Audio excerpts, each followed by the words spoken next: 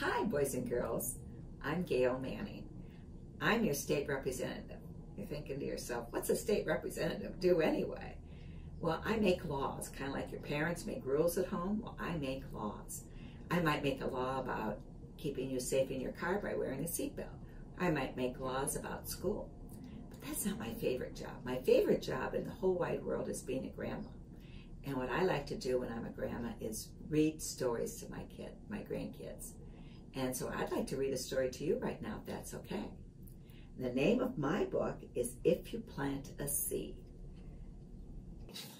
It says, if you plant a tomato seed, a carrot seed, a cabbage seed, you can see the little mouse and the rabbit planting them, in time, when they're sitting there watching it day, it's nighttime and they're reading a book. Oh no, they're sitting in rain waiting for it to see what happens. But with love and care, fell asleep. Wonder what's happening. Oh, look at how excited they are. They're jumping up and down. Tomatoes and carrots and cabbage will grow.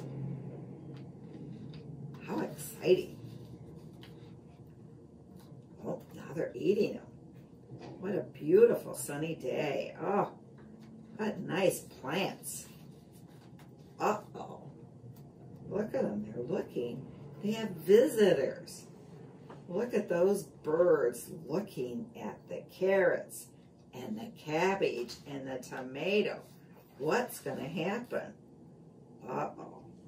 They are pretty birds, though, aren't they?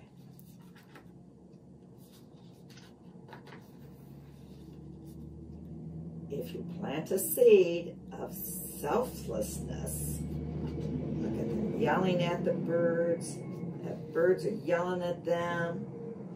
In a very short time, what's going to happen? Oh no! It will grow and grow and grow. Guess they shouldn't have been selfish, huh? They're flying away with the food. Oh my goodness, what a mess. Oh, look at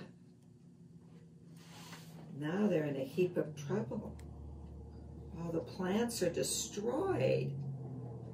Oh no. So what they decided to do instead is to share. So, but if you plant a seed of kindness, in almost no time at all, oh, the birds flew away. Wonder where they're going. The fruits of kindness, the birds are dropping the seeds all over the ground. It will grow and grow and grow. Now the birds are helping the rabbit and the mouse. Watch them. Look what happened. From all the seeds that the birds dropped, they now have a beautiful garden. And everybody is so happy. And they're sharing with all of their friends. And everything is very, very sweet. I hope you enjoyed my story. And I'm sure that they have this book. You'll be able to take it out of your library. Have a good day, kids.